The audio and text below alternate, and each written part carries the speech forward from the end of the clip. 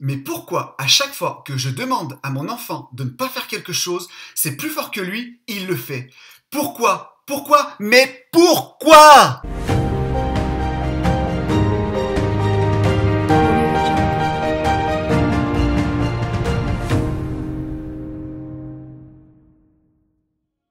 Est-ce que vous avez remarqué comment à chaque fois que vous demandez à votre enfant de ne pas courir, ou de ne pas toucher à quelque chose, ou de ne pas faire ci ou ça, eh bien, bizarrement, il le fait. Et c'est énervant à force. Trois clés pour comprendre pourquoi votre enfant ne fait pas forcément ce qu'on leur demande. Avouez qu'on est un petit peu bizarre en tant que parent. Bizarre, oui oui, j'ai dit bizarre. On est bizarre parce qu'on demande quelque chose qu'on ne veut pas. Ne cours pas, ne fais pas ci, ne touche pas à ça. On demande ce qu'on veut pas c'est un petit peu...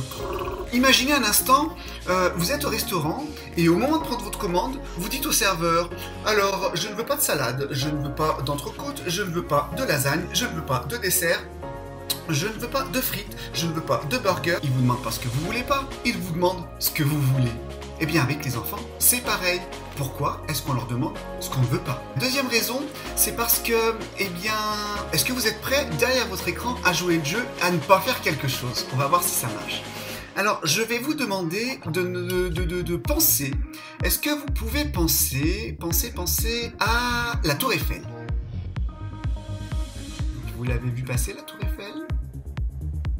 Vous y avez pensé. Alors maintenant, on va faire l'inverse je vais vous demander de ne pas penser. Vous entendez bien? Ne pensez pas, ne pensez surtout pas à euh, un camion rouge.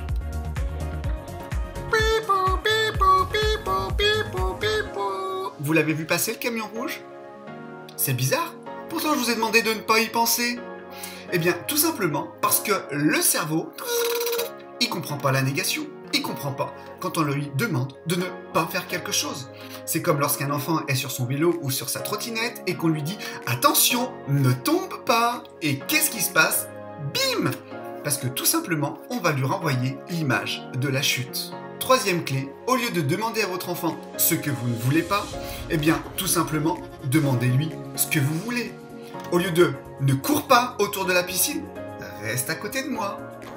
Ne touche pas à ce joli vase Laisse le joli vase de mamie à sa place.